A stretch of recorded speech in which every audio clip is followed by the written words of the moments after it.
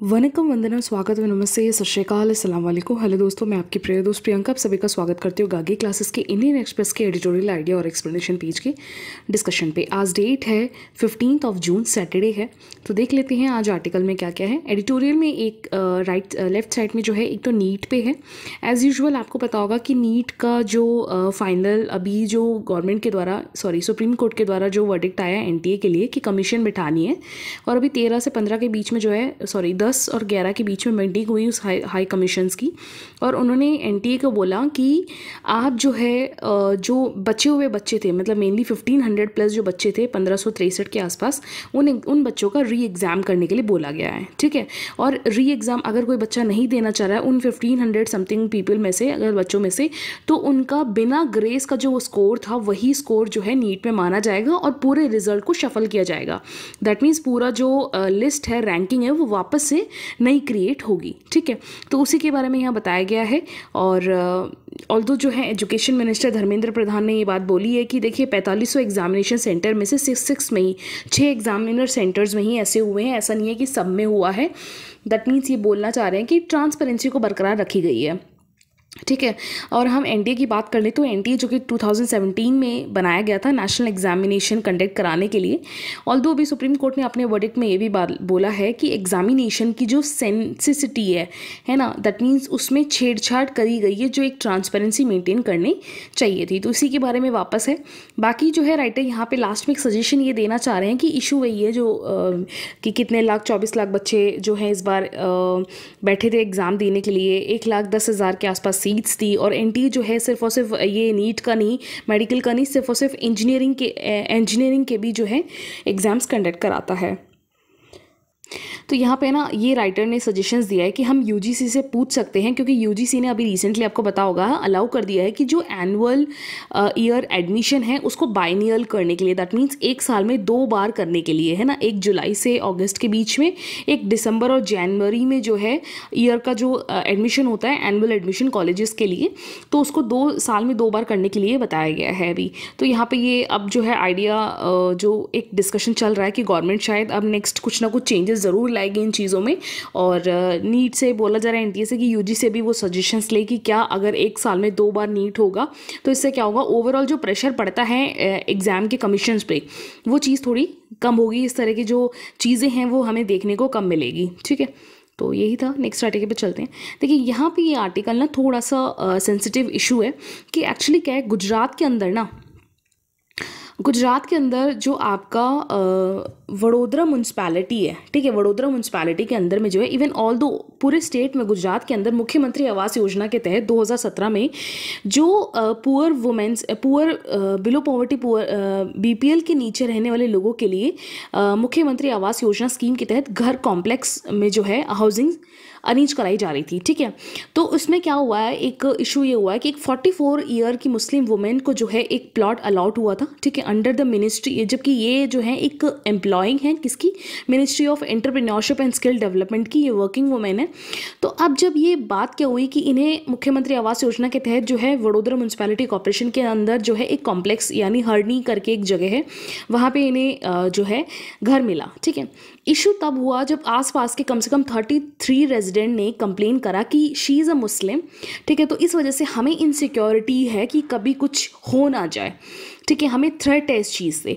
तो इस चीज़ का कंसर्न जो है राइटर ये दिखाना चाह रहे हैं और राइटर ये बता रहे हैं कि वडोदरा में ये कोई पहला केस नहीं है कि मुस्लिम के मुस्लिम के अगेंस्ट या एक पर्टिकुलर एक रिलीजन के बेसिस पे इस तरह के इंसिडेंट्स देखने को मिल रहे हैं। लेकिन यहाँ जो है अश्योर कर रहे हैं राइटर कि स्टेट को या स्पेशली गवर्नमेंट को अपनी स्कीम्स में इस तरह की चीज़ों को बढ़ावा नहीं देना चाहिए। आ, क्योंकि ये सीधा सीधा आपके आर्टिकल फोर्टीन का जो कॉन्स्टिट्यूशन गारंटी देता है right before the law equality before the law law और 15 आर्टिकल क्लॉज वन में ये सीधा सीधा प्रोहिबिट करता है कि किसी भी सिटीज़न के साथ हम रिलीजन रेस कास्ट सेक्स और प्लेस ऑफ़ बर्थ के बेसिस पे डिस्क्रिमिनेशन नहीं करेंगे ठीक है? तो यहाँ पे जो है राइटर एक चीज़ और बता रहे हैं कि देखिए ये इंसिडेंट पहले भी होते थे जैसे फॉर एग्जांपल अगर आप देखोगे कि गुजरात में आ, पहले भी जो है 1986 में भी कम्युनल राइट्स की वजह से क्या हुआ कि वहाँ के अथॉरिटी ने the disturbed area ordinance pass किया था। ठीक है, इसके अंदर क्या था कि जिस जिस एरिया में दंगे वगैरह होते हैं तो वहाँ से जो भी लोग रह रहे हैं, वो अपना मकान नहीं बेच सकते हैं। ऐसा होता है ना, जैसे कि कोई अगर पीस क्लॉस ख़त्म हो रही है डिस्टर्बेंस बार बार होता है तो अक्सर हम क्या करते हैं, उस एरिया का मकान ही छोड़ के कहीं और शिफ्ट हो जाते हैं। तो इन्होंने यहाँ the disturb area ordinance pass करके बोल दिया कि वहाँ से कोई भी मकान खाली नहीं करेगा और अगर खाली करके बेचना है तो आपको कलेक्टर से परमिशन लेनी पड़ेगी। ठीक है? तो इस वजह से क्या हुआ कि कई जो माइनॉरिटीज़ हैं, उन्हें ज़बरदस्ती उन्हें वो जगह छोड़ के जाना पड़ता था सेफ्टी के पर्पज़ से। ठीक है? तो ये चीज़ें धीरे धीरे वहाँ पे जो है एक अपनी खुद के एक लॉ में ही कन्वर्ट हो चुकी है। ठीक? इसके साथ साथ जो है ये 1991 में बता रहे हैं कि परमानेंट लॉ के फॉर्म में ही कन्वर्ट हो गया तो ये बहुत ही एक अलग है जो मार्जिनल सोसाइटी के लिए कहीं ना कहीं थ्रेट का एक एक सस्पिशियस का काम करता है। ठीक है? तो इसीलिए यहाँ पर वडोदरा को थोड़ा राइटर ने क्रिटिसाइज़ किया कि कभी भी रिलीजन के बेसिस पे किसी को इतना ज़्यादा कि इनसिक्योर फील करवाना सोसाइटी में, जहाँ आपके आर्टिकल फोर्टीन और आर्टिकल फिफ्टीन जैसी चीज़ें एग्जिस्ट करती हैं। ठीक? तो इसी बारे में है और राइटर यहाँ ये कह रहे हैं कि आने वाले टाइम पे देखो इस चीज़ पे जो है हमें फोकस करने की ज़रूरत है और हमें equal rights for every citizen fear favour of prejudice जो है देने की ज़रूरत है। तो ये केस स्टडी है, ठीक है? तो हम इसका यूज़ कर सकते हैं। नेक्स्ट आर्टिकल पर चलते हैं। देखिए, यहाँ पे जो है, आपको बताया कि एनडीए गवर्नमेंट की three point two specially Modi ji की थ्री पॉइंट टू है। तो यहाँ पे कुछ एग्जाम्पल्स राइटर बता रहे हैं, जहाँ एनडीए गवर्नमेंट के द्वारा सोशल जस्टिस को हाईलाइट किया गया है। सोशल जस्टिस का मतलब क्या होता है? सोसाइटी की वो ग्रुप्स जो ऑलरेडी डिप्रिवाइड हैं ठीक है? जिन सोसाइटी उन उन कैटेगरी के लोगों को जिनमें सोसाइटी में ठीक है सोसाइटी में थोड़ी आ, कैसे बोले? जैसे सोसाइटी में थोड़े और अपवर्ड लिफ्ट करने की ज़रूरत है। कौन कौन आते हैं इसमें? जैसे वुमेन्स हो गए, ठीक है? स्केड्यूल कास्ट हो गया स्केड्यूल ट्राइब हो गया ओल्ड एज हो गया, ठीक है? बच्चे हो गए चिल्ड्रंस हो गए, है ना? तो इस तरह के जो कम्युनिटी के लोग हैं, इन्हें अप अपलिफ्ट करने के लिए गवर्नमेंट के द्वारा जो एक्शंस उठाए जाते हैं, वो कहीं ना कहीं सोशल जस्टिस के अंडर में आते हैं, ठीक है? तो यहाँ पे कुछ एग्जाम्पल्स बताएँ, जैसे फॉर एग्ज़ाम्पल राइटर बता रहे हैं कि जब अप्रैल फाइव टू में इंडिया की पॉलिटिकल हिस्ट्री में एक मेजर जो चेंजेस था, वो ये था कि स्टैंड अप इंडिया करके एक इनिशिएटिव गवर्नमेंट के द्वारा शुरू किया गया था ताकि स्केड्यूल कास्ट और स्केड्यूल के जो वुमेन्स हैं, वो एंटरप्रेन्योरशिप में अपना आगे नाम रखें स्पेशली इन यूपी ठीक है? और इसके साथ साथ जो हमारे ऑनरेबल प्राइम मिनिस्टर ने, बाबू जगजीवन राम, ये सीनियर कांग्रेस के बहुत अच्छे बड़े लीडर थे सीनियर लीडर तो उनकी जो बर्थ एनिवर्सरी थी, वो फिफ्थ अप्रैल थी। तो उस उस दिन इन्होंने अपने इसमें जो इनकी जो स्टैचू स्टैचू होती है स्टेज पे, उसको एड्रेस किया, ठीक है? तो यहाँ पे राइटर बता रहे हैं कि देखिए, ये नॉन पार्टीशन गवर्नमेंट थी। दैट मीन्स कोई भेदभाव नहीं कि सोशल जस्टिस में ये मैटर नहीं करता, कौन किस पार्टी का है, कौन किस तरीके से है, लेकिन सबको इक्वली जो है ट्रीट करना ही इस पार्टी का एक मोटिव है, ऐसा राइटर बता रहे हैं ठीक है? तो चाहे वो कॉन्स्टिट्यूशन में ट्रिब्यूट करने से लेकर या फिर आप ट्रिब्यूट या सेंट्रल हॉल में कॉन्स्टिट्यूशन को आ, सलाम करने से लेकर ठीक है? या फिर कॉन्स्टिट्यूशन डे सेलिब्रेशन करने से लेकर इससे ये पता चलता है कि ये जो गवर्नमेंट है, ये सोशल जस्टिस सोशल जस्टिस को काफ़ी ज़्यादा जो है हाईलाइट करती है, ठीक है?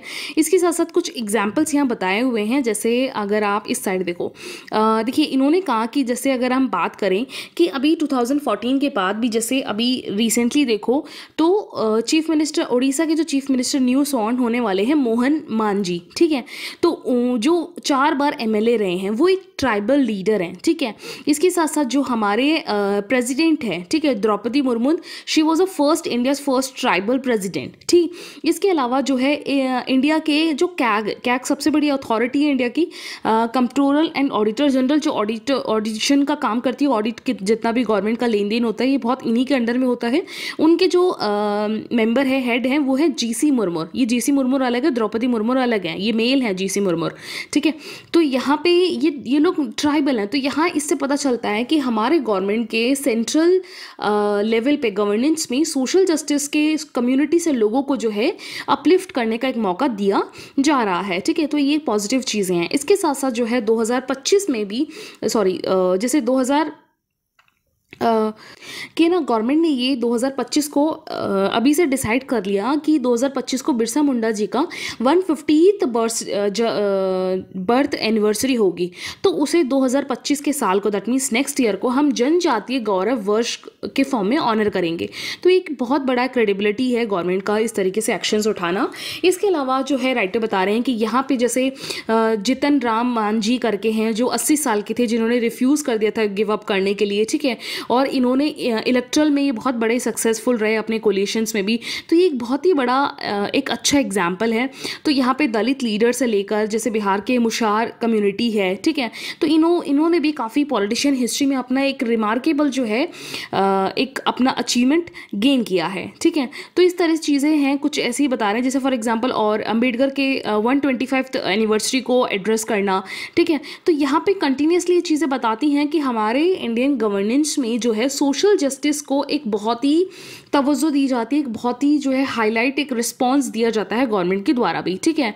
आ, तो दैट मीन्स यहाँ पे राइटी बोल रहे हैं कि एक चीज़ ये मिथ तोड़ी गई है इस पार्टी के द्वारा। पहले ये माना जाता था कि BJP just for the Brahmin and Baniya party ठीक है? लेकिन ऐसा नहीं है और ये जो है OBC Dalit tribal backward most backward communities के लिए भी जो है पॉलिसी अफर्मेटिव एक्शंस उठाती है ठीक है?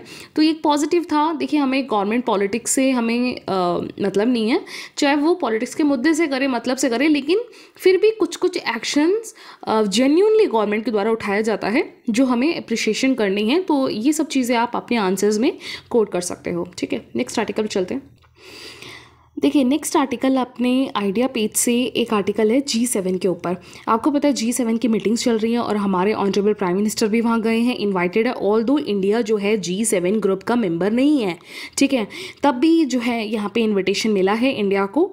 और, देखिए, यहाँ पे जी सेवन की बात करें तो आपको पता होगा कि इसमें मेजरली कौन कौन से कंट्रीज़ हैं। यहाँ पर देखिए, ये चीज़ बता रखी है। जी सेवन जो है मेनली इसमें आप बात करोगे यूएस फ्रांस जर्मन इटली और जापान और यूके के द्वारा छः मेंबर्स के द्वारा बनाया गया था। लेटर ऑन जाके इसमें कनाडा और रशिया को भी ऐड कर दिया गया था। ये जी एट ग्रुप बन गया था। लेकिन जो है अभी 2014 के बाद 2014 के बाद रशिया को इस ग्रुप से हटा दिया गया है। ठीक है, क्यों हटाया था? क्योंकि रशिया ने क्रीमिया करके एक आइलैंड है, ठीक है मेडिटेरियन सी के नीचे पड़ेगा, उसको जो है हड़प लिया था। रशिया ने ये बोलते हुए कि ये मेरा क्राइटेरिया मेरा एरिया है। तब से जो है जी सेवन के जितने भी मेंबर मेंबर्स है यूएस फ्रांस और यूके इन्होंने जो है रशिया को हटा दिया। तो अभी जो है ये जी सेवन की मीटिंग हो रही है, जिसमें बहुत सारे चाहे यूएस के प्रेसिडेंट जॉय बाइडन हो जर्मन के फ्रांस के और इटली के तो जॉर्जिया मेलानी जो हेड को लीड कर रही हैं तो ये सारे होस्ट आए हैं और इन्होंने एक चीज़ अनाउंस करी है कि रशिया के द्वारा जो यूक्रेन को लॉस पहुँचाया गया है, उसके लिए रशिया सेंट्रल बैंक के असेट से जो फ्रोज़न है फ्रोज़न अकाउंट्स है, वहाँ से पैसा लिया जाएगा 46 बिलियन ताकि यूक्रेन को सपोर्ट किया किया जाए, ठीक है? तो यहाँ पे जो है, अभी जी सेवन ने यही बात करी कि क्योंकि रशिया के द्वारा काफ़ी ज़्यादा जो है लॉस किया गया है यूक्रेन का, ठीक है? और ये भी बोला है जी सेवन ने एडिशनली जो है, ये लोग कंट्री मिलकर फिफ्टी बिलियन करीब करीब यूक्रेन को पैसा देंगी। और यहाँ पर थोड़ा harshly president of European commission की हैं उर्सुला वॉन्डर लेन उन्होंने थोड़ा ये बोला है कि जो रशिया ने किया है, उसका खामियाजा यूरोपियन टैक्स पेयर नहीं देंगे यूक्रेन के लिए। रशिया ने डैमेज किया तो रशिया ही देगा इसका जो खामियाजा यूक्रेन में हुआ है। ठीक है तो और दो ये सब चीज़ें चल रही हैं और वर्ल्ड की अब आपको पता है कि और भी कंट्रीज़ जैसे यूएस है यूके है, इनमें इलेक्शंस भी होने वाले हैं। ठीक है, वो अपनी जगह हैं तो इसके अलावा यही बेसिक चीज़ें हैं। अभी जो है आउटकम्स आएगा दो तीन दिन बाद जब मीटिंग्स कंप्लीट हो जाएँगी तो आउटकम्स पता चलेगा कि क्या क्या चीज़ें बात करी हैं।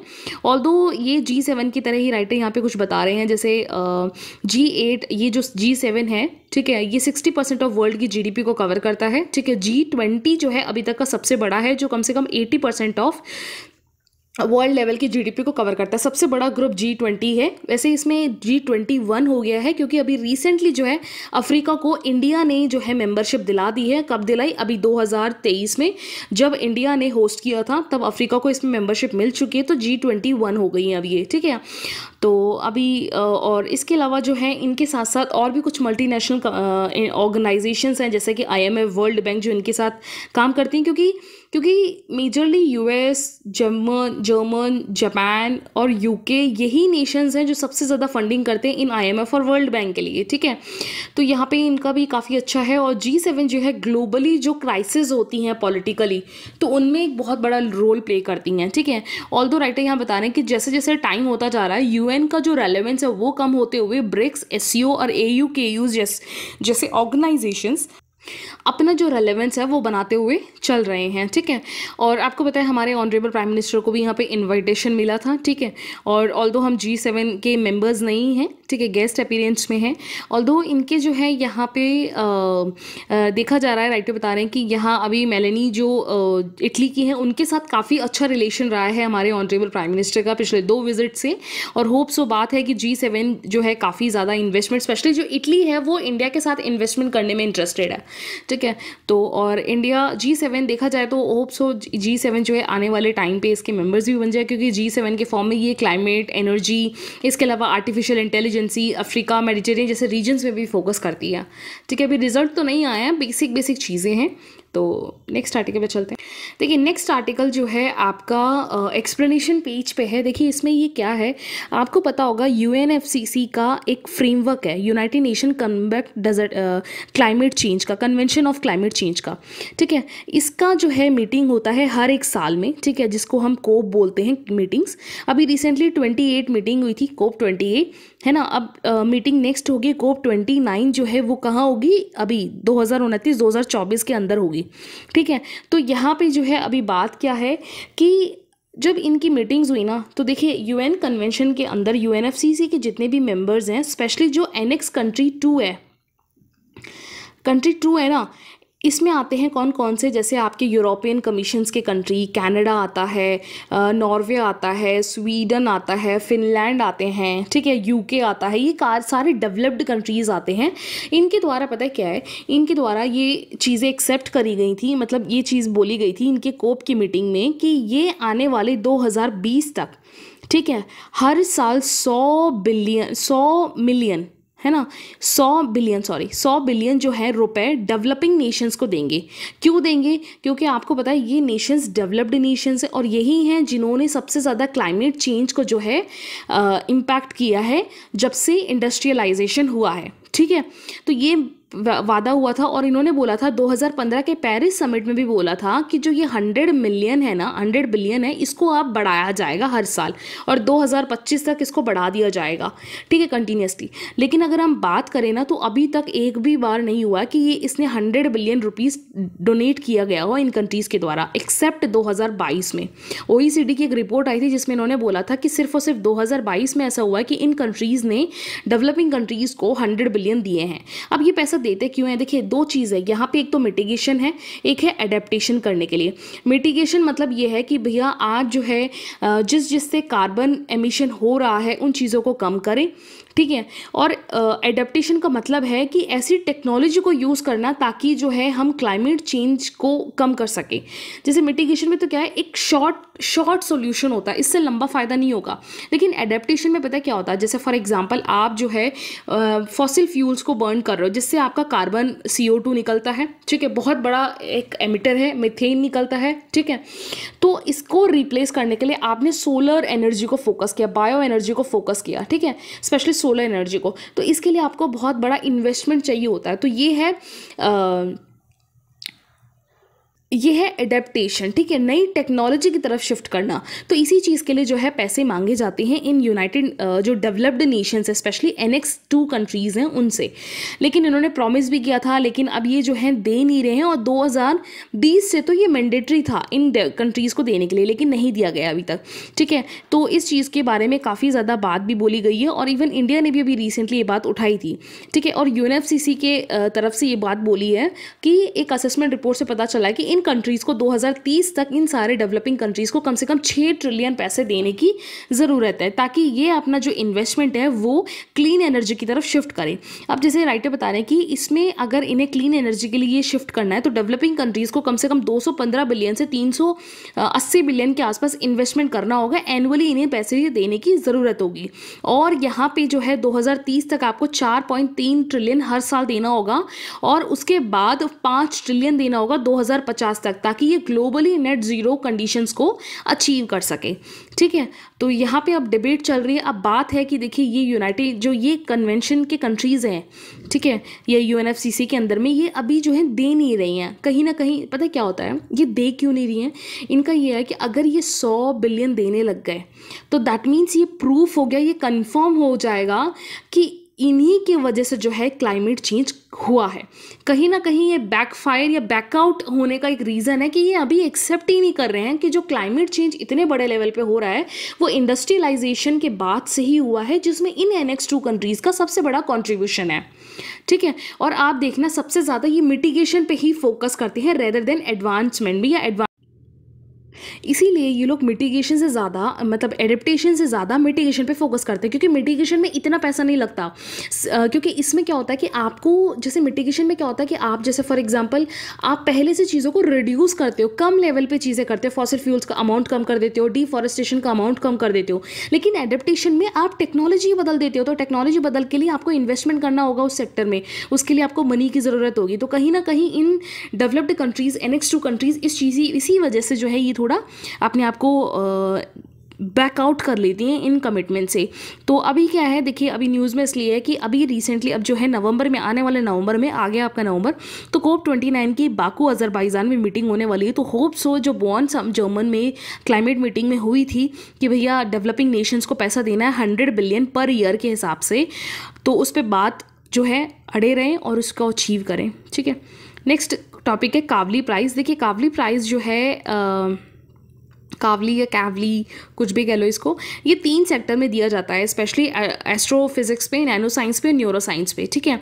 ये वैली बेसिकली ये नॉर्वेजियन अमेरिकन साइंटिस्ट बिजनेसमैन थे मिस्टर कैवली कैवली को, ठीक है? उनके उनके बिहाफ भी दिया जाता है, क्योंकि उन्होंने जो है एक ऐसा पैरामीटर एक डिवाइस को बनाया था, जो मेनली कन्वर्ट करता है प्रेशर को इलेक्ट्रिक सिग्नल्स पे, ठीक है? जिसका यूज़ हम एविएशन और घर के अप्लाइंसेज में यूज़ करते हैं, ठीक? और अभी जो है ये दो 2008 से इसके अवार्ड्स दिए जाने लगे हैं। 73 साइंटिस्ट को मिला हुआ है 19 कंट्री से अभी तक, ठीक है?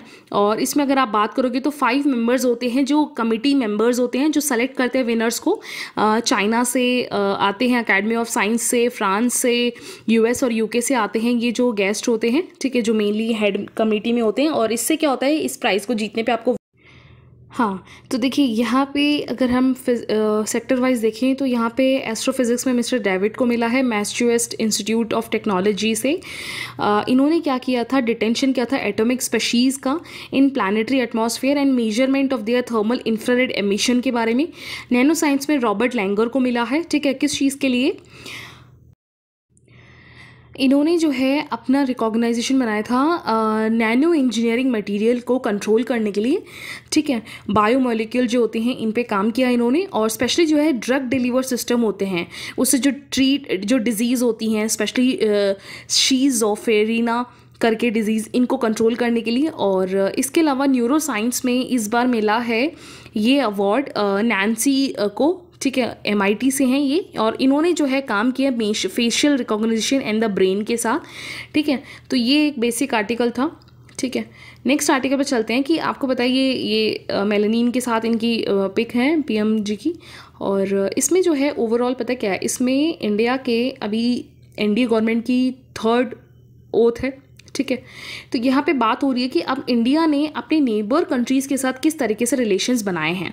तो यहाँ पे देख लेते हैं नेबर्स के साथ स्पेशली जैसे अगर आप देखोगे ओथ सेरेमनी में भी बांग्लादेश भूटान नेपाल श्रीलंका मॉलडीव्स मॉरिशस शेषल से आए थे, लेकिन यहाँ पर अफ़गानिस्तान पाकिस्तान और म्यांमार से किसी को भी इन्वाइट नहीं किया गया। ठीक है? तो यहाँ पर कुछ चीज़ें हैं, जैसे फॉर एग्ज़ाम्पल अगर आप बात करोगे, पाकिस्तान की अगर हम बात करें तो टू तक राइटर बता रहे रिलेशन काफ़ी अच्छे थे।